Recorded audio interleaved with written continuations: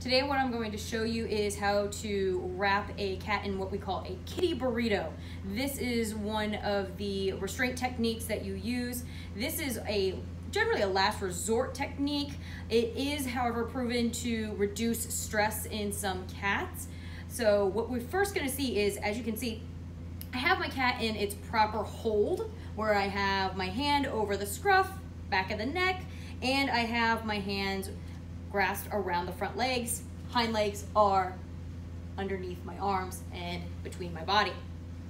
From here, you take the cat. I generally recommend having your towel already laid out. That way, all you have to do is bring your cat, place on the center of the towel.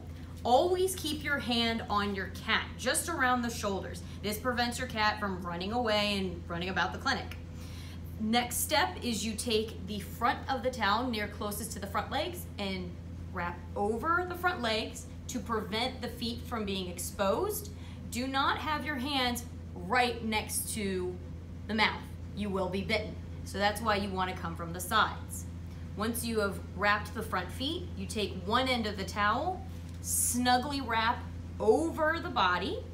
You are gonna wrap over your arms, but to prevent you from getting stuck, you then take your free hand over the shoulders, slip out your opposite hand, and then grasp the other side, wrapping around tightly.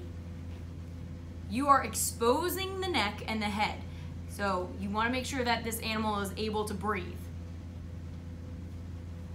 Again, hands over the shoulder.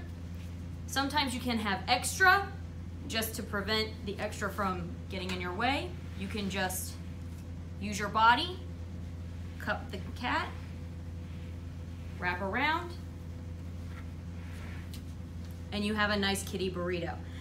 There is sometimes extra in the back. What you can do for that is, as you can see, never taking my hands off of the cat, you can tuck this under. And how you can do that is